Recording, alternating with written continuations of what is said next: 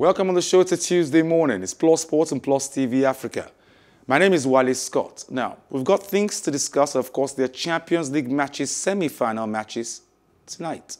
And of course, um, my Chelsea fans are all over the place. And of course, the Real Madrid fans too are saying their thing too. We'll try and dissect and see what might happen and might not happen tonight. Before that, former Wimbledon star John Fashanu has frowned on the idea of bringing back former Super Eagles striker Odion Ighalo to the national team.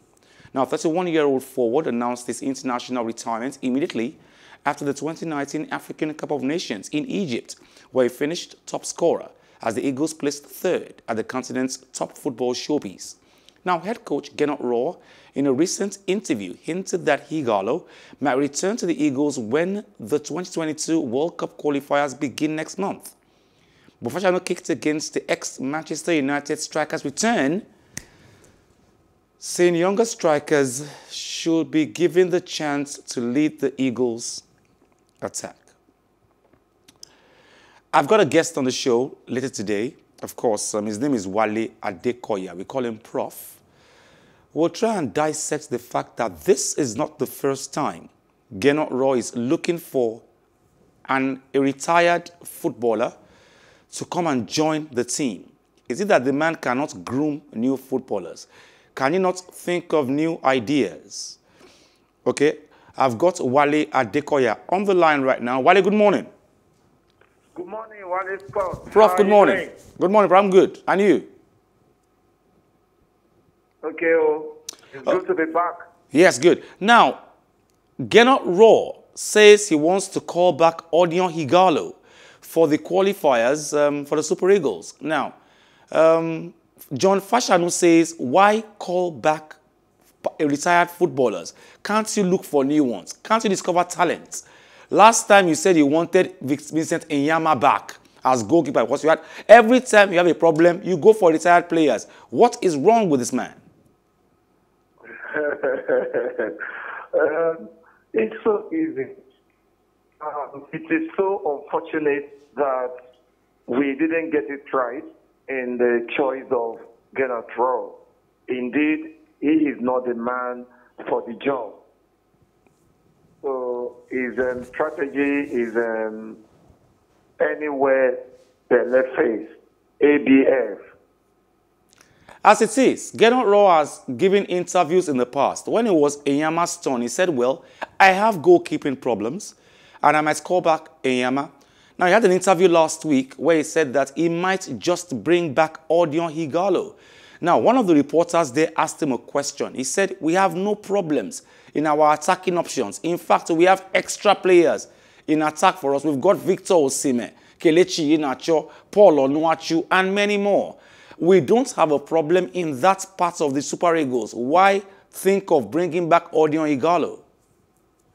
Well, I can tell you for free that in the world today, eh, FIFA has um, about 209 uh, affiliate um, countries.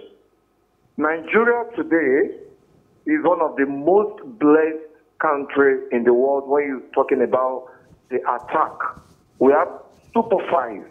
They are young, they are creative, they are dashing, and they are so, so dangerous. You cannot, see, in natural and the likes, Onuachu and the other guys, they are from the same country, the same nation. And we have a major tournament coming. And the coach is talking about somebody who voluntarily retired. The, we, the media, we know why the young man, the, the man said he's had enough. So have you considered the same spirit? Have you considered the implication? That plot you're going to give to Iheanacho will have gone to one of these super fights, the world-class strikers that are teaching the entire world how football should be played. You saw what happened with, Barcelona uh, the other day. You saw what the Nigerian did. He scored the opening goal, a super wonder goal. I And think these are the things we are talking about. See, don't forget the last match. The coach said Ahmed Musa will come, he will be invited, but he won't play. That means he has also locked down, he has tied down one spot. These things, they don't mean, they don't matter to General Trump. And you can see the manifestation in his desire to invite a player who has forgotten Nigeria. It is sad, another reality that um, we have gotten it wrong. That idea, I'm sure, common sense will prevail that sleeping dogs should be allowed to sleep. Then let us invite our super player who are painting the world red with gold. I can understand that Gennaro is convenient with um, playing his tested and trusted players. That's all right. And that's why when he had problems in goalkeeping section, he ran back to, let's call back Vincent Enyeama.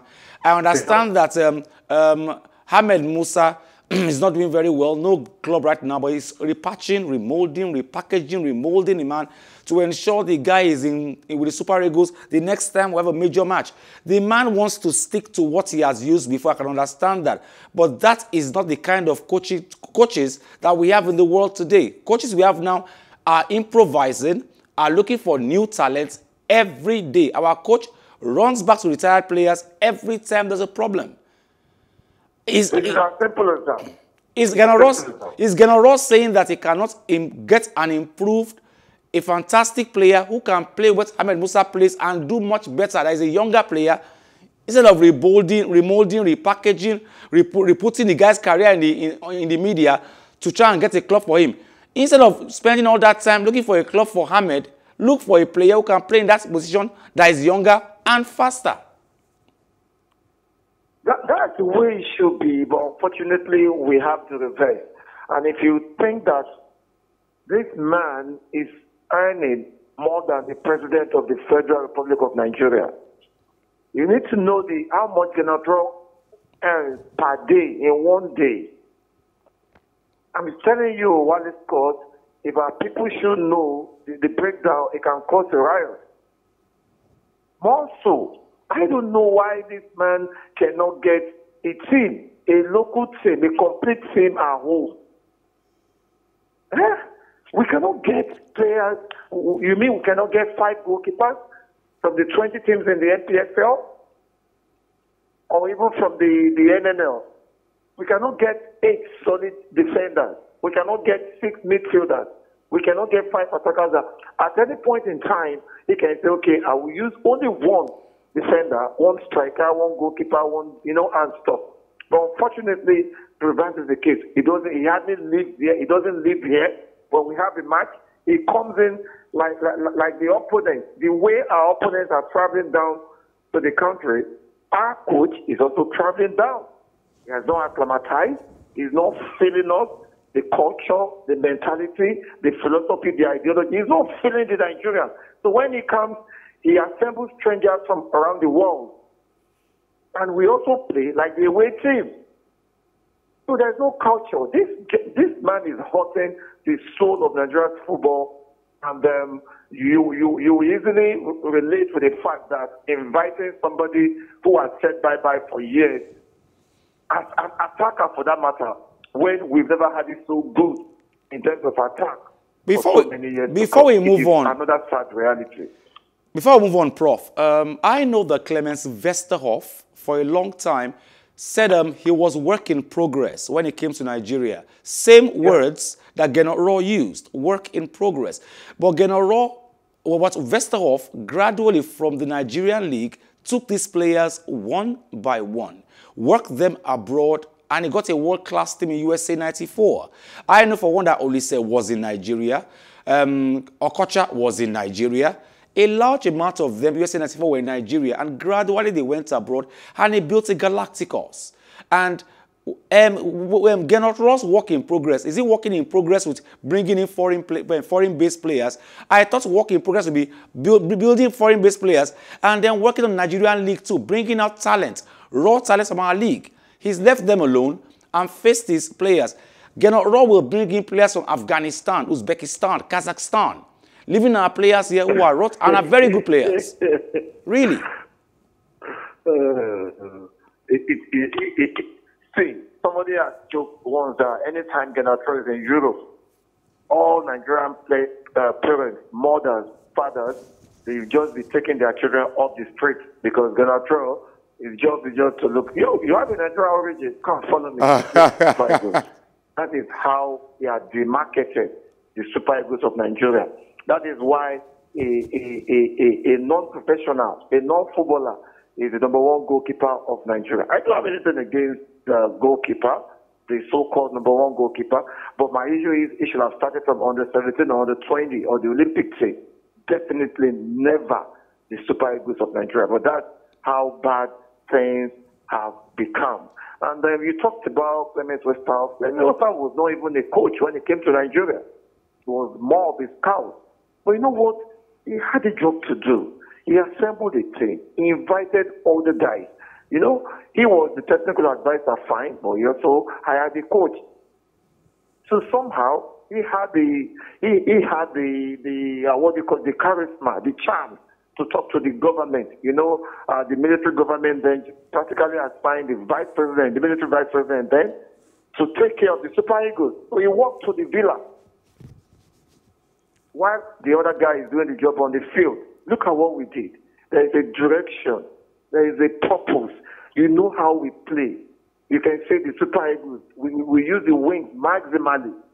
If Amunike is torturing you on the left, you know what that the bull can do on the right. You know Yekini will be somewhere. You know the Siasia and that can support. You know everybody. See, uh, Wally Scott, let me quickly tell you this before we leave this matter. There was a time we, uh, Stephen Keshi was interviewed.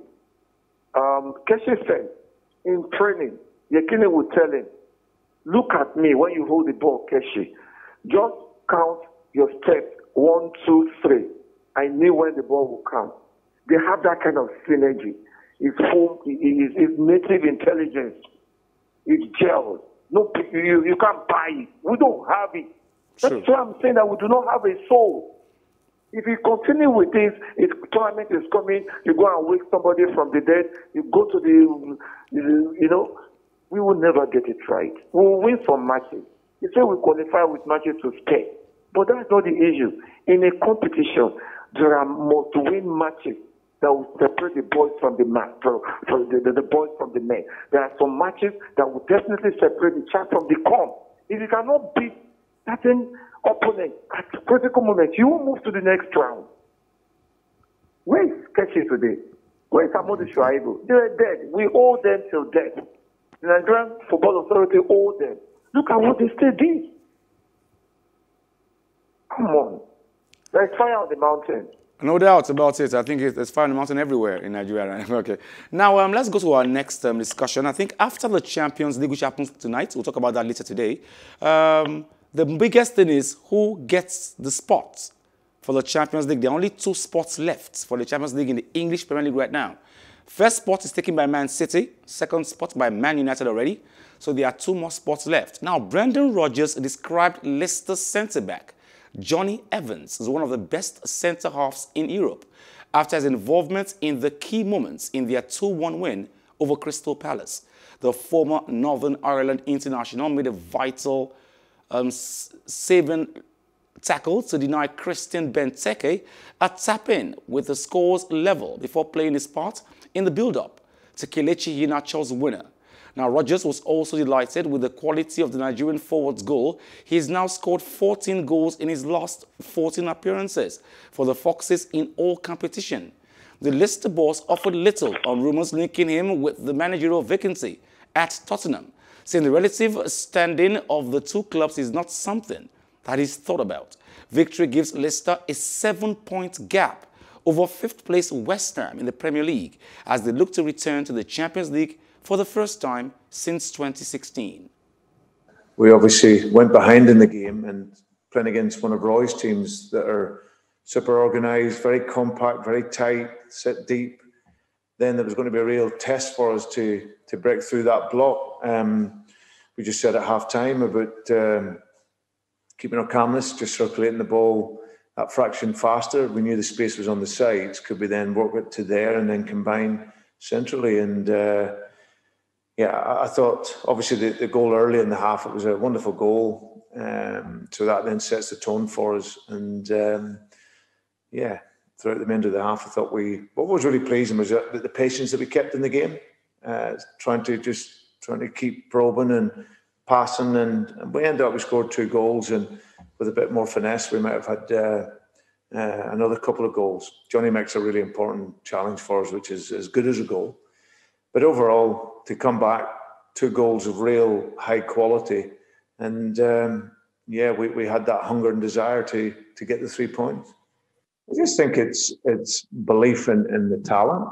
He, he's clearly a talent. I think it's a great um, great comparison. If you look at that game at Crystal Palace up there around Christmas time, he, he missed a penalty. His confidence it, it wasn't at the highest level. And uh, but you look a few months on now into April, and he's a different player. You know, with the form that he's in, the quality that he has. I just think it's he has the talent, and he's having the opportunity now. In fairness to to him, I've said it before. We've played a different system, um, which has meant that he's come into the games more, uh, and he was still effective uh, but never quite got the run. We've obviously had to design the team around the injuries we had. So while it's hot up now in the English Premier League, um, Leicester might be going to the Champions League for the first time since 2016. Hmm.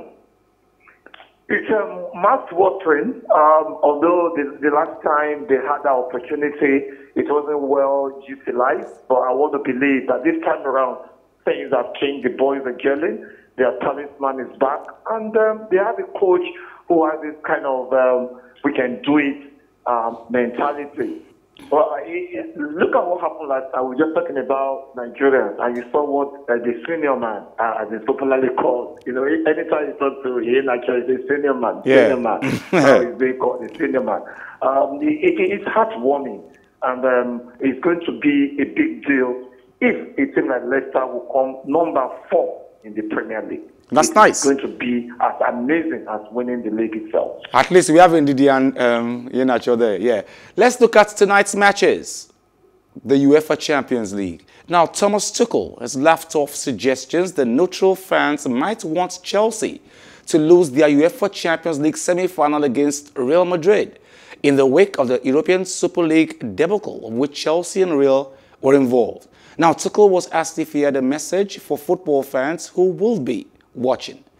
Now, um, and the Chelsea boss promised that his side will show their passion for football and the Champions League when they take to the pitch for the first leg on Tuesday, that's today, against Real Madrid. Really? Do you think that? And and they want to see us fail against Real Madrid because they were not part of this, or? so, yeah, yeah. So, come on, uh, we all did mistakes, and uh, if you if you lead a club and if you own a club, you can make uh, decisions that not everybody understands and not everybody likes. This is this is part of life, but it does not change the the love for the game. I can just tell everybody that I love this game uh, so so much, and like everybody in the dressing room, uh, the boys are so so so happy out there on the pitch with a smile, so so excited about uh, tomorrow's game semi-final. We need all support to make uh, to, to to to be able to to overcome this huge step and um, and in these two games. So. Uh, put your anger to the decision, put your anger to, to the way the decision was presented, well well understood and um, absolutely fine for me. But don't put it on the team and don't put it on the on the and, and never doubt the love uh, that that all of all, all people here at Cobham and and I'm sure in all other clubs uh, don't doubt the love that that everybody has for for this game and you will see all the passion and and tomorrow on the pitch again. Okay. Real Madrid coach Zinedine Zidane said on Monday he was not thinking about any sanctions against the club from UEFA in the wake of the European Super League announcement last week. The breakaway league involving 12 of Europe's major clubs collapsed within three days of its announcement amid a fierce backlash from fans, governing bodies and politicians. Real President Florentino Perez was named as chairman of the project and appears to have been the driving force behind the league, which ended in embarrassment as most clubs withdrew. Local media have suggested referees might now treat Real Madrid differently, but the Frenchman brushed aside those suggestions as well. Zidane will be without injured defenders Sergio Ramos, Lucas Vazquez and Ferland Mendy, as well as midfielder Federico Valverde, who is self-isolating following a positive COVID-19 test for the visit of the Premier League side.